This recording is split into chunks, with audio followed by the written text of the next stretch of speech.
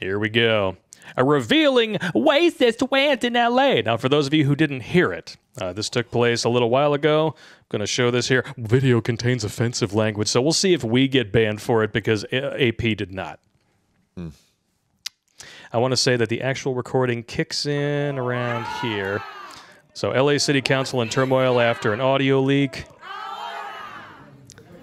Outraged protesters called for the resignation of three Los Angeles City Council members after audio of them making racist remarks leaked. Mm.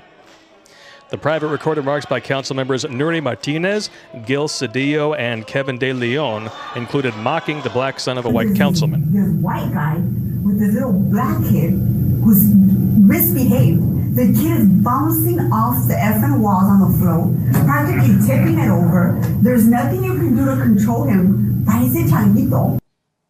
I am still trying to wrap my head around everything that was said and everything that is happening. Now, to be fair, To be fair, um, has anyone out there? I'm, I'm sure you know. Show of hands. Every single person in the chat is going to say yes. Have you ever been in a room with somebody who should never have been a parent and watched their child go ape shit, yes. and then been there for the conversations after said parent and child leave? Mm-hmm. This is nothing. Go to Chuck E. Cheese's. You'll see that shit in Oh. God. Holy shit. Oh yeah. Go to Chuck E. Cheese's, or if you're from Michigan, Major Magics. It's coming back. It is? Yeah. Yeah, fuck that. They opened one of them. What? What's wrong with that? It's dumb. You're dumb. Yeah. I grew up going to Major Magics because I they actually had good pizza. Chuck E. Cheese's balls. Yeah, Chuck E. Cheese is terrible stuff. Yeah, it's disgusting. Not to mention the freaky animatronic mouse. Just, Yeah. just Not a fan. light it on fire or kill it with fire. Yeah, I'm not a fan of that at all. So that private conversation, which virtually everyone who listens to it can identify with what is being said. Yeah. Okay. Just because she called the kid a monkey and he happens to be non melanin challenged, magically, It's a racial thing? it's a racial thing. Well, You know how many times Listen. I've called my own kid a monkey? everyone here has a little bit of racism in them. It's just the way it works. And, and if you're one of those people that'll sit there and, I swear on a stack of Bibles, I'm not, oh. you're lying to yourself. It's called life experience. It is. Uh, stereotypes don't spring up out of the ether unless they're being taught to you by professors in higher education. Or you see it in the real world. Uh, That's All what the- I'm saying. All the craziness going on. You're like, what? It's like we know that where stereotypes come from because it's a shared reality that we can all laugh at. The only fake stereotypes I know of that have caught on are the ones being taught to people by Marxist professors. that is correct. White privilege, Yeah. systemic istophobic. Li- listen, there is no white privilege. No. There's only having a father privilege. Exactly. Uh, and listen, if you are born in a family that you know you're basically you only have one parent, you're single mother. Yep. You're literally starting out at a huge disadvantage in the race of life. Yep. And some people don't have the IQ or the drive to, to, to overcome that obstacle. Exactly. Especially if you know many of them congregate in inner cities. Mm-hmm. Over seventy-five percent of a ter- of a certain non-melanin challenged demographic gives birth to their children out of wedlock. Not to be confused with the sixty-one percent of all pregnancies that get murdered Yep. in said demographic. Actually, the most dangerous place for a young non-melanin challenged child to be is in its mother's womb. St- uh, saying. statistically speaking, those numbers are pretty grim. But you put all that together, and we know the facts of fatherless homes. There's no racial component here. Nope. There just happens to be a stereotype that happens to be true. Well, like a few years back, I went and I sat it in on a um, Detroit school board meeting, Oh God! And Oh God! literally 45 minutes of nothing but blame the white guy. Oh, why am I not shocked? You know, despite the fact that they receive more tax dollars than any of the other school districts in the suburbs around Detroit, Mm-hmm. and that money historically just disappears. Nobody's found culpable Yep. for missing money. And you know who stole it all? The politicians of color that they elect. Correct. And, and I, am just amazing. I, literally, I'm in there like, oh my god, they they just don't, they just can't see it. Yep. They've bought into the lie mm-hmm. because it's easier than taking responsibility and saying, you know what, we fucked up. We fell for LBJ's plan to, you know, make stunning and brave African American gentlemen vote Democrat for 200 years. All because, And he actually said that. yeah, he did. All because, you know, you can have welfare, but there can't be a man in the house. Mm-hmm. Um, and That was offered to everyone, regardless of race, color, and creed. And guess who jumped on it to the rate of 75%? well, there's two reasons for that. If there's no man in the house, then that woman will need to call the police and be more de- de- you know dependent on the system for protection, Exactly. and she'll need the financial resources. Yep. The government is my real baby daddy. So in reality, you're, you're you're getting rid of the safety net and the provisions that men used to provide. The government's not doing this for Yep. these women. And is it any shocker that these women of today are just going fucking berserk? Holy shit. Yeah. You remember when that used to be bigotry, but now we don't even know what a woman is? Wah, wah, wah. That's going to haunt them for a long time. Oh, man. It is. Yeah, we, we couldn't tell you what a woman was. And then Roe v. Wade got overturned. And then that was a war on women. Uh, but then all of a sudden, you know, we had to go back to, oh, oh that, that doesn't work anymore because we have uh, the Transformers over here and we want them all to compete in college sports and, you know, diddle kids. So we need to take care of that. And then, oh, oh we, we need the draft still. Okay, all, all biological men then. Yeah. What? That's right. We? Not me. I'm zipper tits.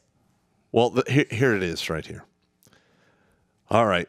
The reason that they talked about the, the draft for the trans community is because uh, they missed the recruiting by 40%. Yeah. And when you average it out, it's between the services, it's like 25%. They're reading the, the handwriting on the wall. If this continues, they're going to have to draft people. Yep. And guess what? You can dress up like a pig, but if you have uh, if you have or had a worm dangling Yeah. between your legs, The ball of worms. you are going to get boxed up and sent over to disposability land. Uh, but that's just a conspiracy theory. Uh, you can say that all you want. I've read the old op orders in regards to World War III Oh, I know, I know. and all of the. I'm not the one over here saying chromosomes are a myth. Oh, I. I, I when I say it, I'm making fun of people who actually think it. and, and you want to watch them really freak out. And I've done this a couple times. oh, this ought to be good. Um, they, they're talking about all the crazy stuff. I'm like, good, good. Could you uh, give me an example in nature other than human beings for that? Could you please point to any other animal that we have Yep. uh, that you know has a male, female, but s- somehow there's 120 different sexes? Or Yeah, totally. yeah, no. And when was the last can't- time you saw a sea otter with a sea otter made vagina dilating it with a stick? Yeah, and then how are all of these 120 genders expressed? With dishwasher safe hardware that looks like a penis? Oh man. You know, when you when you sign up for your zipper tits surgery, there's only one option on the form for the transition. That's it. Isn't it amazing how that works? I know. Non-binary is not one of the options. No, it's Just not. in Listen- case you were curious. and it's already all covered. Yeah. As- or gay, asexual, heterosexual. And uh, hermaphrodite. Well, Well, no, when you're talking about- are when you're exceptionally rare. Oh, when you're, when you're, I'm talking about the, the the transition surgery. When you are one side, you only have one option. That's right. You don't have 74. No, it doesn't exist. Yeah. And here's the part that, Tell Tumblr that and watch the rees continue. like, I literally had to like quit talking to a lot of my liberal friends because they were, you know, talking about this, uh, you know, gender fluid Yep. horseshit and critical race theory. I'm like, literally looking at them, and I remember I, I ta- I told this to one of my buddies. He was going on. I'm like, "Have you ever read the Diary of Anne Frank?" It's just like, well, you everyone did that in high school. Yeah, yeah. I was, yeah. You read it. I'm like, yeah, yeah. Yeah. But the difference between you and me is you'll be the guy narking out Anne Frank to go to the fucking smokehouse, and I won't. You're damn right. And they, they got really butthurt about it. It's but it's true, though. absolutely true. It's true. The reason why they don't want to hear that is because they're the ones pointing a finger while three point back at them and yelling, Atsine. That's why I always fuck off. All four. You get the fucking whole knife hand of doom. You're damn right. Oh, I said doom. Doom. All right, you ready for this? Yes, I am. You ready for how uh, we're, we're going to snort some Chuck Blow and uh, figure out exactly how the Democrats plan to spin three Hispanics engaging in what they call istophobigatry. I have a theory about the future of America that I don't want to come true. It's a theory that worries me and that I have written about that with the browning of America, it's a little overdone on one side. White Supreme Pizza could simply be replaced by or buffeted by a form of light supremacy, in which fairer skinned people perpetuate a modified anti blackness rather than eliminating it. Because they're running out of the white supreme pizza Yep. and they need to build another boogeyman. That is what's taking place here. And they are. I think this uh, this is summed up beautifully by you know, there's a lot of Venezuelan migrants coming here now. Yep. And Biden's new remain in Mexico policy that he's decided to introduce targets them specifically. Gee, I wonder why. He's going to let all the other ones that didn't come from a socialist shithole into the country. Huh. I mean, there there has to be some reason. I just can't quite wrap my brain around it. Might have something to do with uh, control. Uh, it might have something to do with the fact that people who just came from a socialist shithole won't vote Democrat. Yeah, that too. And, and listen, the Hispanic community, uh, they're getting pretty done with Oh, yeah. the whole Democratic horse shit. And that's really, I think, where a lot of this is coming from. They're seeing a huge swing, and it has been continuous since 2008 of the Hispanics toward the conservatives in the voting booth, and they are terrified Well, it- of what that means. How many times are the Democrats going to promise shit to the minorities, never deliver, Yep. don't even talk to these people for three and a half years, and then magically six months before an election, we care about you again? How many fucking times are they going to fall for that horse shit before they're like, hey, fuck off? Well, apparently they've been falling for it since the 60s. Yeah. And, look still have. are still overwhelmingly falling for it. That's right. And all of the blue cities are sh- fucking shitholes. Yep, and that's why when we released our old pop culture video, "Dear Minorities, You Are Still Slaves," and we got hate mail for it, Oh, you and I were reading it, laughing our asses off. I'm not a fucking slave. I don't know what the fuck you're talking about. Like, well, you know, if you throw a rock into a pack of dogs and one of them yelps, chances something. are that's the one you hit. Yep. Hit somebody. Son of a bitch. it's pathetic. It truly is. Mm-hmm. The ways that's comments revealed this week on a recording of Latino leaders in Los Angeles, three city council members and a labor union leader did nothing to allay those those fears. Now you notice they're just Latino leaders in Los Angeles, Mm-hmm. okay? Not Latinx. Even though most of the people talking were women. Yeah. I'm getting tired of that whole. So misgendering now is okay when you can. Well, the establishment is trying to change the public perception of you to white adjacent. yep. They're already doing that with the Chinese or the Asians. Yep. Oh, it's been like that for a while. Well, we reduce their scores because they do so well. It's not racism, it's equity. Get the fuck out of here. We know who the real istophobics are. Well, and it's not the people who voted for Trump. Well, one of the main reasons the Asians are doing so well is they have a lot of two parent families. Yep. I mean, There you go. There you go. Well, they have the the least amount of single parent homes. Yes. That's another thing that we handled in that episode. We did the percentage of single parent homes by ethnicity and then compared it to the median average income. And then those lines are parallel. Asians had a higher income, the lowest amount of fatherless homes. Whites were in the middle, blacks way down here. Absolutely correct. It's about choice and consequence. Yeah, and like they literally want to use emotion to get rid of consequences by ignoring reality. How dare you? What the? How the? F- what? I just can't wrap my head around the clown world Neither can I. Or that actually makes sense. It's like puking on a pile of shit, my friend. Puking on a pile of shit. Uh, here we go. In the recordings, which we heard, Council President Nury Martinez was who resigned from the as Council President on Monday and resigned from the Council on Wednesday, offered the most egregious comments. She insulted people in the crudest, most racially offensive ways, comparing a colleague's black son to a monkey and appearing to insult I don't know, I can't, Oaxicans. I don't even know how that's pronounced. People from the disproportionately indigenous region of, Mexi- of Mexico by calling them little, short, dark people who are ugly. Okay.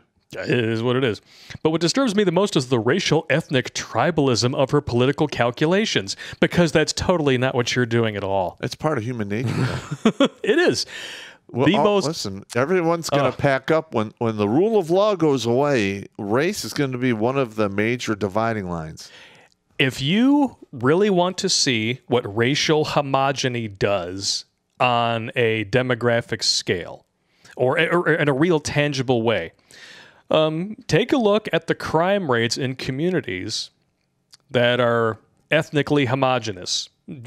Really, the fastest way to do this is to look at Europe. Countries like, you know, Sweden or like the really rich parts of Britain that are like 95% white supreme pizza have the lowest crime rates. There's nothing going on there.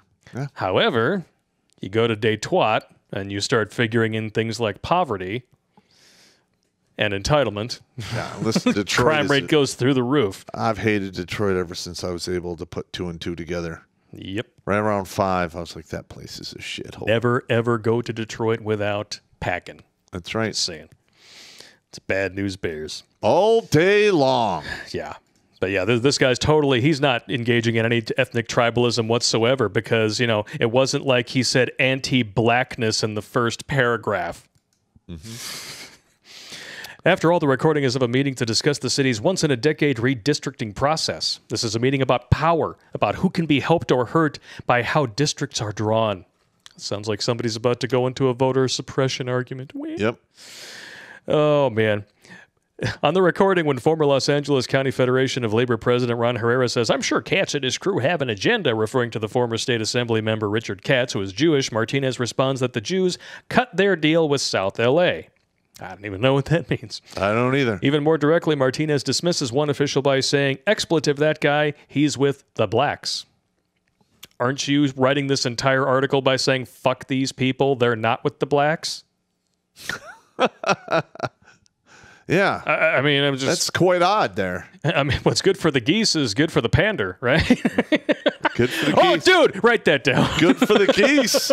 Good for the pander. I like it. Woo! Oh, that was good. Oh, that's good. Watch Grunt Speak Live every Tuesday and Thursday at 8 p.m. Eastern. And if you want to join Popp for Supporter Sundays, go to redonkulas.com slash donate and make a monthly pledge. A link is in the meat caser box.